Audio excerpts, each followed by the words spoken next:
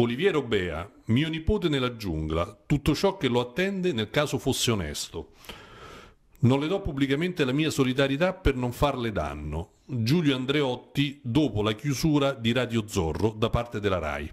Cosa accadde, dottor Bea? Tanto per cambiare, accadde che mi chiusero la trasmissione, che era la trasmissione di gran lunga il maggior successo della radiofonia complessiva. Radio Zorro era la, una, una trasmissione civica su tutto quello che non funzionava e mm, non si ne dettero per intesi, non gliene fragò nulla.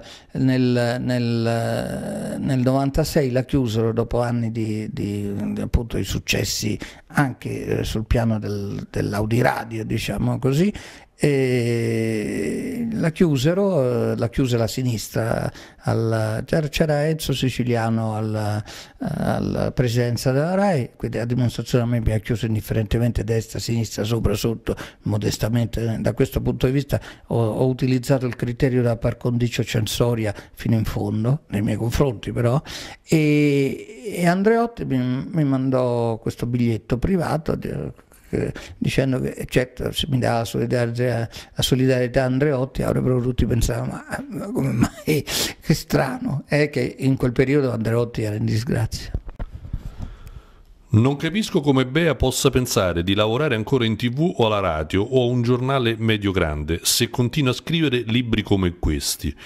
Marco Travaglio, prefazione a Diario di uno spaventapasseri.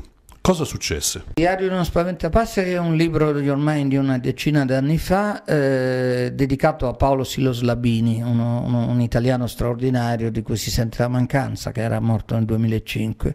E Travaglio scrisse questa, questa prefazione eh, elogiativa, soltanto che è vero, aveva ragione di non capirlo. Il problema è che poi quello che non potevo fare io ha fatto lui.